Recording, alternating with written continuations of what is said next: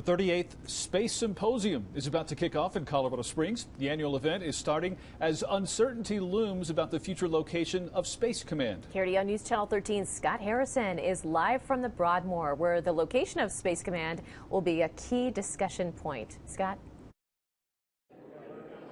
Yeah, guys, first off, we want to give you kind of a look at what's going on here right now. We're about two hours away on this first official day of the Space Symposium from what's the big attraction, and that's basically the exhibit hall. We're told there are around 300 exhibits here from private contractors and whatnot, showing off the latest in technology that's related to space. And we're showing you only the exhibits that have been finished. There's a lot that still hasn't been finished yet, and they got to scramble to get those ready by 7:30, the opening time.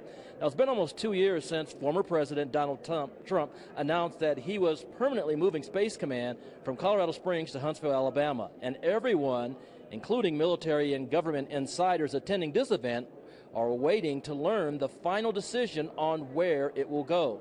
Remember, we told you back in December that the head of Space Command expected a decision by the first of the year. That didn't happen. Two government reports found that the selection process was fair and proper. Here at the symposium on Wednesday, we may get an update from the man who will make the final decision. Space Foundation, like everyone else, we're awaiting the decision. You know, we're really looking forward to hearing from U.S. Secretary of Air Force uh, Frank Kendall um, at Space Symposium. Uh, we're thinking we might hear uh, more from about Space Command in, in that press briefing.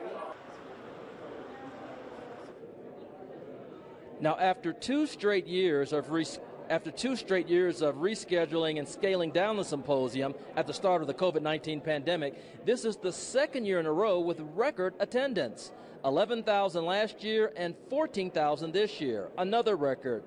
And nearly 50 countries participating, and we've told you about the record number of exhibits that are going to be opened up here in just a little while.